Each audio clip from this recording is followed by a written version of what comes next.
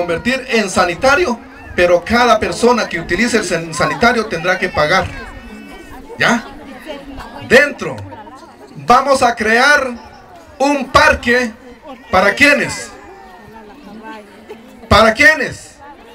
Para los niños. Porque también los niños merecen nuestra atención.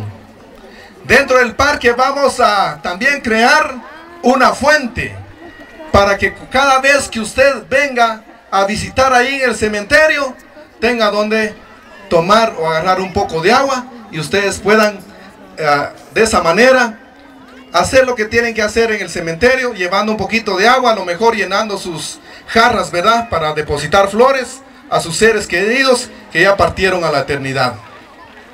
Además de eso, toda esa calle que ustedes ven, esa calle la vamos a techar.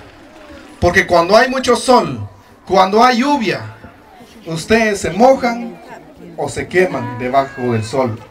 Yo soy humano, soy consciente de que hay necesidad de mejorar nuestro pueblo.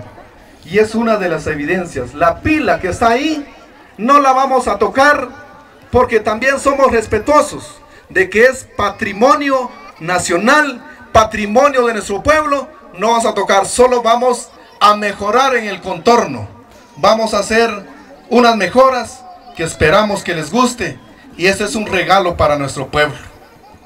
Muchas personas me escriben, me dicen, alcalde, queremos que nuestro pueblo se vaya modernizando. Y ese es el compromiso de nosotros para con ustedes. Este es un ejemplo que estoy dejando, queridas señoras, de todo lo que hemos hecho. Ahora, yo quiero hacerles una pregunta. Y que de hecho ustedes son conscientes.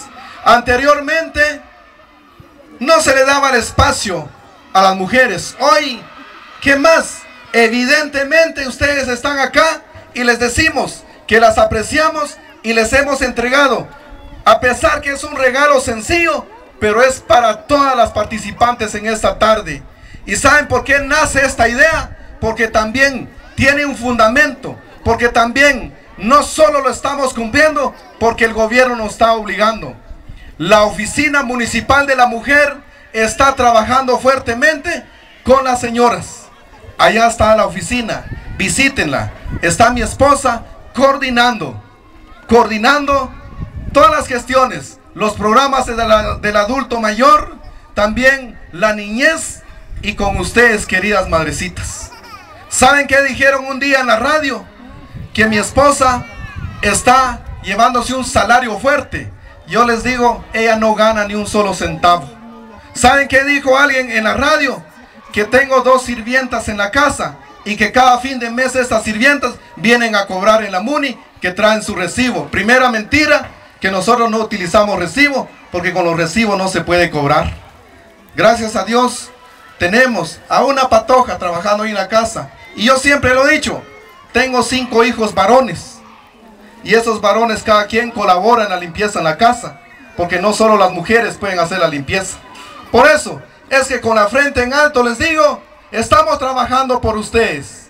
Por eso hemos venido trabajando ahora con las mujeres, con los niños, que vamos a estar celebrando también el Día de los Niños. Hemos estado también con los ancianitos. El 24 de diciembre tuvimos esa oportunidad de recibir más o menos a 300 ancianitos que les dimos un regalo cada uno. Ese es el respeto, ese es el deseo de servirle a nuestra gente. Y estamos dispuestos a ir adelante de ustedes para seguir trabajando más. En esta tarde, no quiero tomar, tomar más el tiempo, solo quiero decirle dos cosas. Dentro de unos días vamos a repartir el fertilizante. Vamos a darle fertilizante a todos los agricultores, a toda la gente de Patzún. Quiero decirles que el año pasado hice una coordinación no politizando la entrega del fertilizante.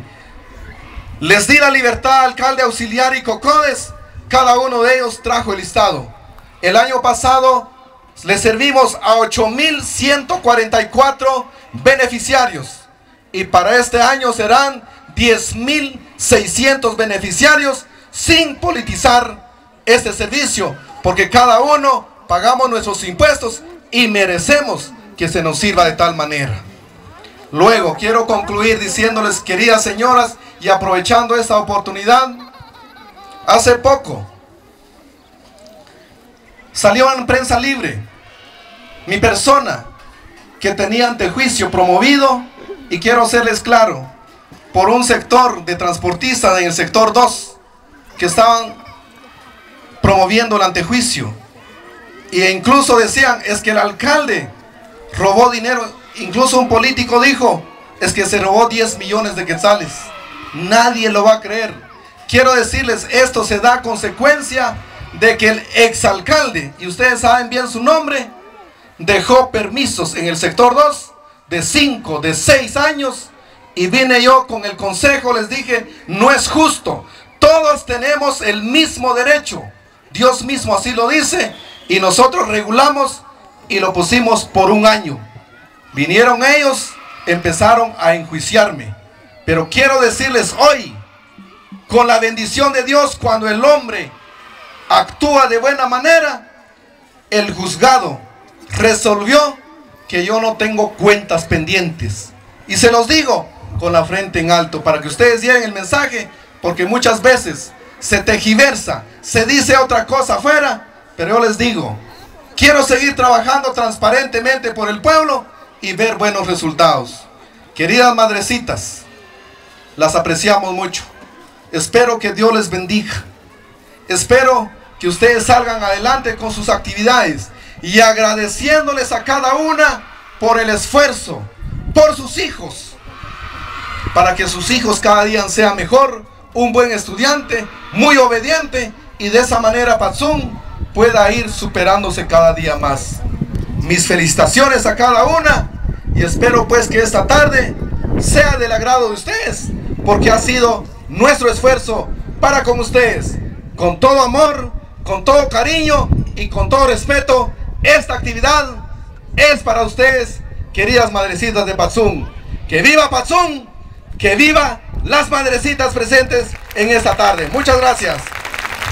Por supuesto, gracias por los aplausos a quien decía yo responsable.